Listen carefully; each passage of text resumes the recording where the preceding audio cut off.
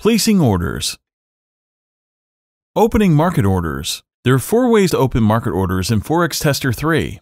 To place a new market order, you can click on a special Place New Market Order button on the toolbar. As an alternative, you can click the F2 hotkey. This will also make the market order window appear. You can also navigate to Orders, New Market Order menu. At last, you can right-click on the chart above the current price and choose the Sell with Stop Loss option.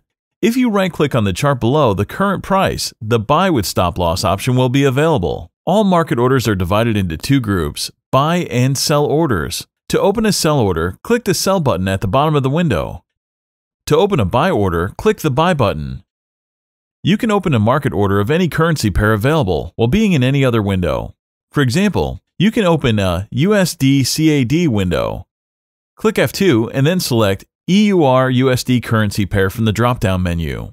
This will open the trade on EUR USD in case if you have previously downloaded the data for this pair. It will also automatically switch you to the required symbols window in case if this chart is opened.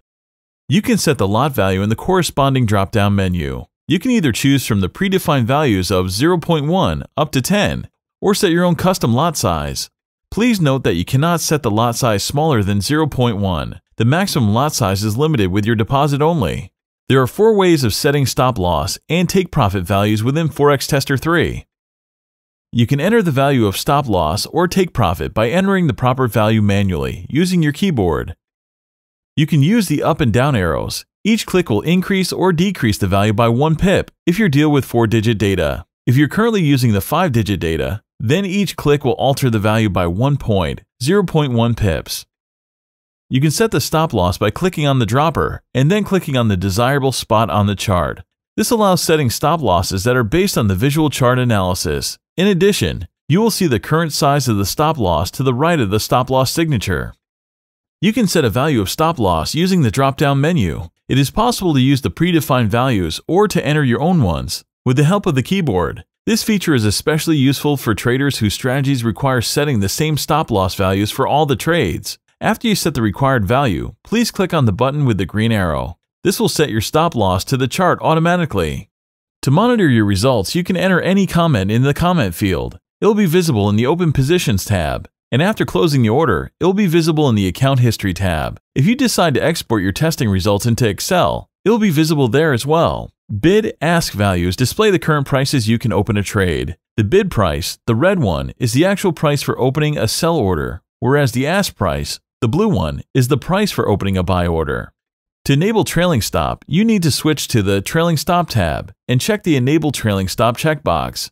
The default type of trailing stop is set on the Immediately option, 20 points for the trailing stop itself, and 5 points for the step of change. When you open a trade, the trailing stop will be applied immediately, and it will be moved only when the price covers 5 points into the profitable direction. When all settings are established, please click on the sell or buy buttons depending on which type of order you are eager to open. The order will immediately appear on the chart and in the Open Positions tab. There are two additional advanced ways of opening market orders. Let's say we want to open a market sell order and place a stop loss at 1.1670. To do that, we can right-click on the chart above the current price at the exact spot where your stop loss will be situated. Then choose the Sell with Stop Loss at 1.1670 option. 2. If you want to open a market buy order and place a stop loss at 1.1600, you need to right-click on the chart below the current price at the exact spot where you want to set a stop loss. Then choose the Buy with Stop Loss at 1.1600 option. The last technique of opening market orders will be especially useful for traders whose stop loss and take profit values remain unchanged. Navigate to the Tools Options menu. In the Default Orders tab, you can add default buy and sell orders. Click the Add button in the Default Buy Orders menu. Select the typical lot size either by choosing the value from the drop-down menu or by typing the required value manually. Select your usual stop loss and take profits values. Set the trailing stop if necessary. Then click OK. The default order will appear in the list. You can edit or delete it with the help of the corresponding buttons. You can add, edit, and delete default sell orders in the same way. To apply default orders, right-click on the chart and select Buy with Default SL TP or Sell with Default SL TP. You can also use Ctrl-B shortcut for opening a Buy default or Ctrl-S shortcut for opening a Sell default order. Opening pending orders. There are three ways to open pending orders in Forex Tester. To place a new pending order, you can click on a special Place New Pending Order button on the toolbar. As an alternative, you can click the F3 hotkey. This will also make the pending order window appear. At last, you can navigate to the Orders New Pending Order menu.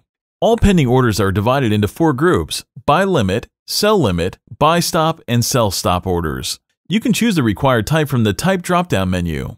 Please note that limit orders should be used when you expect the price to reach some level and then bounce from it, whereas stop orders are made for breakthrough strategies. If you think that the price will go up, reach a certain point, and then resumes the downward movement, then you should set a sell limit order.